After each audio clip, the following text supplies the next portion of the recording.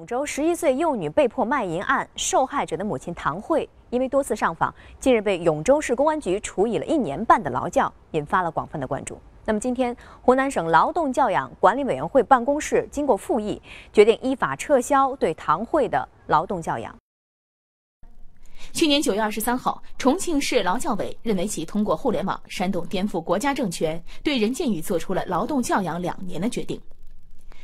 今年八月，任建宇的父亲提起行政诉讼，请求撤销教养，或确认劳教决定无效。案件在上个月的十号公开审理。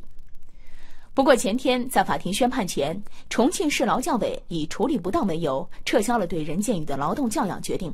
而任建宇也已经解除限制人身自由的强制措施，但是任建宇方面并没有因此撤诉。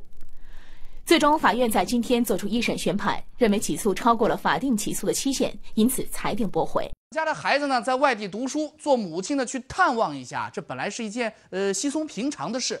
可是兰州的一位母亲赵梅福去北京啊看望正在读研究生儿子的时候。却出了事儿。他在准备坐火车回去的时候，突然被兰州警方给带走了。